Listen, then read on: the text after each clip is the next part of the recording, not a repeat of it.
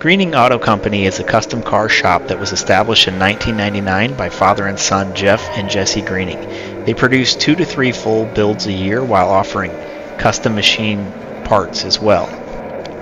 Jimmy Shaw had already utilized their shop located in Nashville, Tennessee for two other projects.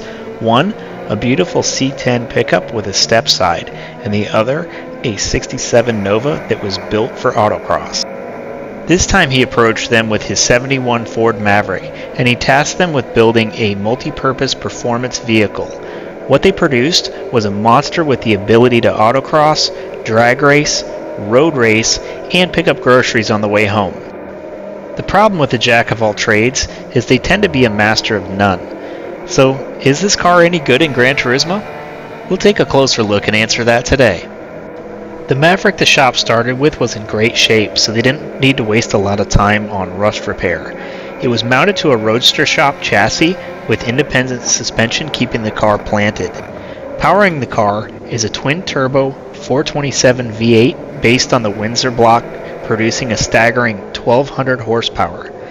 This jumps to over 1400 horsepower in the game after modifications. The vehicle is equipped with Baer brakes all the way around to ensure that it can stop just as well as it accelerates.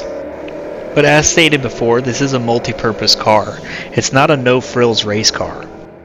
The car has a carbon fiber dash pad and a kicker sound system with the controls on the center console. It's also equipped with vintage air air conditioning. Most of the controls are placed near the headliner above the driver's seat in a racing inspired configuration. Let's go ahead and take it out on the track over in Tokyo and see how it handles the lap. Although this Maverick is meant to be a multi-purpose race car, it seems to get its biggest influence and design from pro stock drag racing.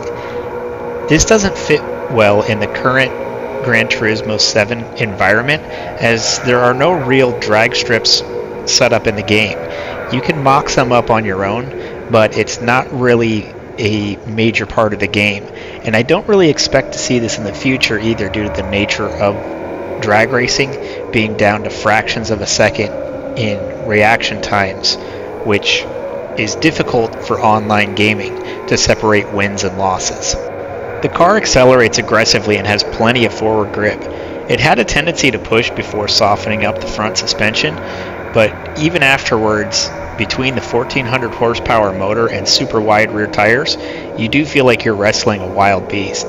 This isn't necessarily a bad thing, because it's a lot of fun to drive, but it really won't make it your go-to car for most situations in Gran Turismo. The front end of this car felt very light, but it didn't really feel agile.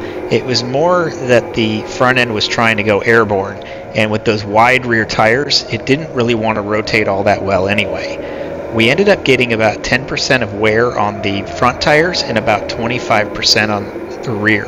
So overall, not too bad, but that's also part of the update for 1.33. The issue this car really suffers with is fuel usage.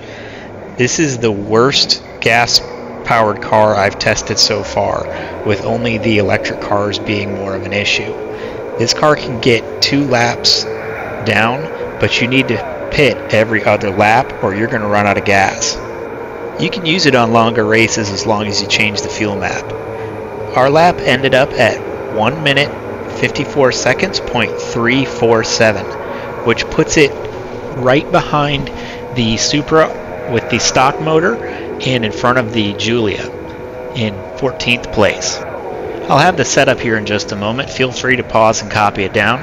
And please like and subscribe if you enjoyed the content so you don't miss any future videos.